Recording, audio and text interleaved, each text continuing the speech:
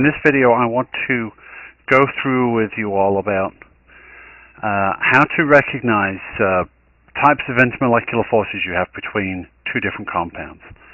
If you imagine intermolecular forces as the kind of glue that sticks molecules together, alright, for example, for a molecule that's got such a small molecular weight, it's just one oxygen and two hydrogens, water has a very high boiling point, much higher than it should be. Uh, and that's something to do with the forces that stick the water molecules together. Those are called intermolecular forces, inter because you're in between two molecules.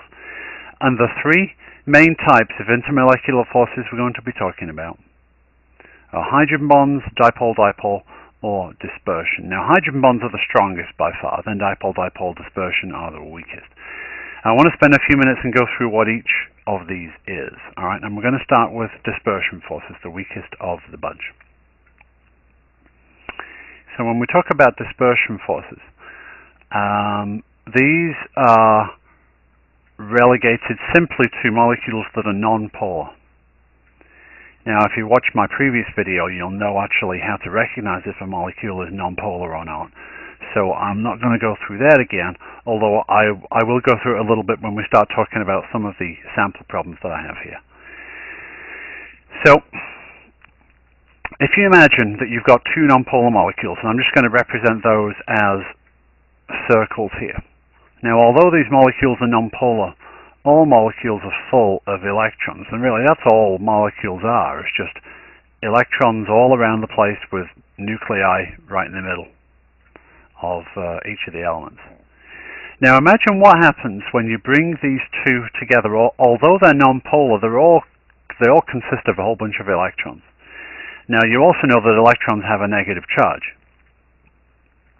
And if I was to take this one nonpolar molecule and bring it closer to this one, so let's say that was what we had before and now we have this afterwards, the electrons in this cloud are actually going to have an effect on the electrons in this cloud. If these are all negative and these are all negative, what you'll find is that a bunch of these electrons actually want to shift over to the other side of the molecule. They're going to be repelled by these other ones. And so what you're going to find is you have a larger number of electrons over here on this side than you had before. Now as electrons are negatively charged, what that means is you are going to build up a small negative charge and a small positive charge either side of this uh, molecule here. And because of that, you're going to build up a similar sort of charge here. So in effect, bringing these two together creates this small charge difference. Now this is very, very small. So small, in fact, it means that dispersion forces are very, very weak. All right. If if you think about gasoline, when you pour gasoline um, from the pump to your car, particularly on a hot day, you'll notice that the gasoline evaporates pretty quickly as it's coming out. If if you spill some outside your tank, it evaporates very quickly. That's because its boiling point is very, very low. Because gasoline molecules are all non-polar, so the only intermolecular forces between them, the things holding them together, their glue, is dispersion forces, which is very, very, very weak. And if you've got a weak attraction between molecules, the boiling point is going to be very low. Hence why gasoline evaporates really quickly. If you spill water on a table somewhere, it doesn't evaporate anywhere near as quickly because its glue holding the molecules together is much, much stronger. Now, dipole-dipole. Uh, that is um, what you'll find in molecules that are polar. All right, and again, we've, we've been through what polar molecules are in a previous video. Um, and the best way to explain dipole-dipole is just to imagine if you have two molecules that are polar, for example, two molecules of um, acetone here. Actually, it doesn't really matter what the name is, but you've got these two molecules. The CO bond is a polar bond. In other words, there is a there is a dipole here. You can represent the dipole either as the two delta plus and delta minus charges, or you can represent it as a dipole arrow. It doesn't really matter, with the arrow or the negative pointing towards the more electronegative element. If we have two of those, and each of them has the same uh, charge separation, then what you're going to find is the negative end of one is going to be attracted to the positive end of the other. And that is what a dipole-dipole attraction is. It's stronger than a dispersion um, attraction. Because this charge separation was already there before these two came together. This one was not. So if you imagine dipole-dipole is kind of like if you have a couple of bar magnets. I'm sure you use bar magnets, bar magnets in your high school physics class. If you put two of these bar magnets together, like that, they will attract each other. If you put them together like this, with the same charges facing each other, of course they'll repel each other. So they'll repel. But if you bring them together like this, they will attract each other. And that's what's going on here. That's a dipole-dipole attraction. Now, hydrogen bonds are a very specific type of dipole-dipole attraction, but they're quite a bit stronger. As you imagine, hydrogen is, is, is in the name, so it's something to do with hydrogen. You have to have hydrogen connected to a, particularly a, directly connected to an electronegative element, and a, and a small electronegative element. The only three that are small enough that we're going to be concerned about are N, O, or F. So you've got to have hydrogen directly connected to either one of these three elements in order to have hydrogen bonds present. So imagine that we've got some water, for example. It's a structure of water. It's supposed to be a pair of bloody electrons there. Hang on. This damn thing. Sorry, I didn't just say damn. Well, okay, I did. I'll just say it again. Oh well. Alright, so here's our water. Um, and notice here we've got oxygen directly connected to hydrogen. And then I draw, say, another molecule of this acetone guy that we had here. Now, the first, th the main thing that you need is you need nitrogen, oxygen, or fluorine present in both of your molecules for hydrogen bonds to be possible. Oxygen has to be directly connected to hydrogen or nitrogen or fluorine in one of those two. It doesn't matter which. It can be in both, but it has to be in at least one. If it's directly connected, then we have this dipole set up here, and we also have this dipole set up here. But the thing that makes this different is hydrogen is so small and its charge density is what it is that the dipole-dipole attraction here between the negatively charged oxygen and the positively charged teeny tiny hydrogen is very strong. Stronger than in dipole-dipole because whenever you're talking about dipole-dipole you're not usually talking about hydrogen. So as I said, hydrogen bonds are a very specific type of dipole-dipole attraction where hydrogen is directly involved. so those are the three types of um, intermolecular forces.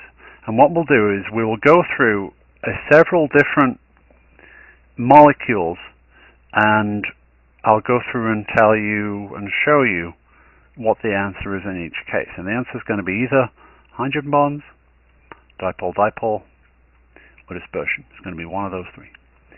So when we go to this guy first, it always helps, it always helps to draw the structure out for your molecules before you do anything else. Because if you don't know the structure, for example, you can't tell if, you know, for example, is hydrogen directly connected to oxygen, nitrogen, or fluorine. Sometimes with a formula you can't tell that. Now, of course, in this in this case, we, we clearly don't have that problem because there's no oxygen, nitrogen, or fluorine present. So that means hydrogen bonds are definitely out. And then what we have to ask ourselves here is, well, are these molecules polar or nonpolar? That's the only thing we need to know. If hydrogen bonds are out, is it polar or non-polar. Now, as you've been through before, and um, you can figure out if a molecule is non-polar or polar. All carbon-hydrogen bonds are non-polar, which means both of these molecules are completely non-polar. And if both of them are completely non-polar, there is no way for us to have dipoles present, so therefore dipole-dipole is not an option.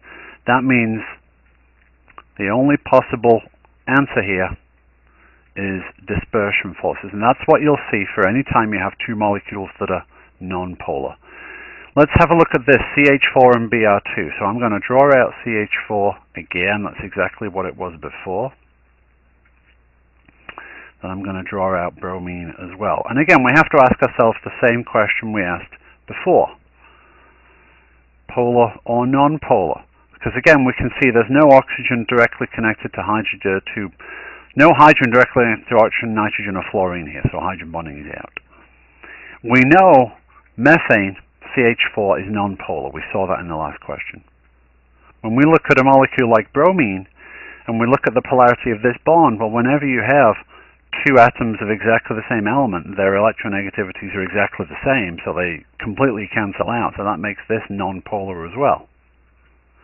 If you have a nonpolar molecule and a nonpolar molecule coming into contact with each other as you had here, whether they're the same molecule or not, if both those are nonpolar, the only possible answer is dispersion forces between these two. So these attraction forces would be very, very weak. Now when we go here, CH3 and H2O, we've got a bit more complicated situation because we've got oxygen, hydrogen, oxygen, and hydrogen. So hydrogen bonding could be a possibility. So we need to make sure that we draw these structures out. Now H2O, we know what the structure is for that. In fact, I drew it out here. So I'm going to draw it out the same way here. And we know for a fact that here, from drawing the structure out, there's oxygen directly connected to hydrogen. And so we need to draw the structure of this guy out as well. and I'm going to draw it out down here. So usually when I draw these structures out, draw the formulas out, I give you kind of a clue as to what the connectivity is. And notice that the, the connectivity here is actually very similar to what I showed up here. Now, so when when we draw this out, let me just fix this. A lot of bollocks there. I don't know what happened. All right. So here we have these two. These are the structures of these. Notice in both cases we have oxygen directly connected to hydrogen. So and that means we have this dipole involving hydrogen here and this dipole involving hydrogen here. So we have a excuse me, we have this dipole-dipole attraction um, between this oxygen and this hydrogen, but we also have a similar one between this oxygen and this hydrogen. All right, and there is even a particular attraction between this oxygen and this hydrogen. So we've got a bunch of dipoles here, but remember we said whenever you have a dipole-dipole attraction involving hydrogen in particular, that makes a hydrogen bond. So therefore, we have hydrogen bonds as our strongest intermolecular force here. So the glue between these two would actually be pretty strong. Much stronger than for these two or these two. Alright, so let's let's go to this last one, CH3OH and CH3Cl. Well, the CH3OH is going to be exactly what it was before, so I'm just going to draw that out here. There's my CH3OH. And what I'm going to draw out here is my CH3, except rather than OH, we have a Cl here. There's three lone pairs on the Cl. Let me just fix that. Bollocks again. These are our two structures, all right? We have our dipole here. We've also got plus charge on the carbon. Now here, carbon-hydrogen bonds are all nonpolar. We saw that earlier on. We do have this dipole though, because chlorine's more electronegative than carbon. The thing that's different about this one versus this case here is we, we have an oxygen directly connected to a hydrogen here, which means hydrogen bonding could be a possibility. But we don't have N, O, or F in this molecule. Because of that, hydrogen bonding has no choice but to be out because of no nitrogen, oxygen, or fluorine here. However, both these molecules are polar because they have dipoles in them. So therefore, if they're polar, clearly dispersion is not a possibility. That actually only leaves us with one possibility, which is dipole-dipole. And we can represent that by simply saying, well, there's going to be an attraction between, for example, the chlorine and the hydrogen, the negative to positive. There could be an attraction between the chlorine to the carbon, again, another positive negative, between the oxygen and the carbon, a third positive negative attraction. However, each of those is an example of a dipole dipole attraction.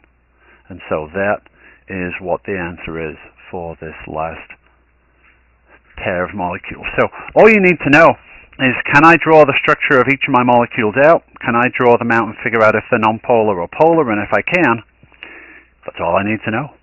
And that is how you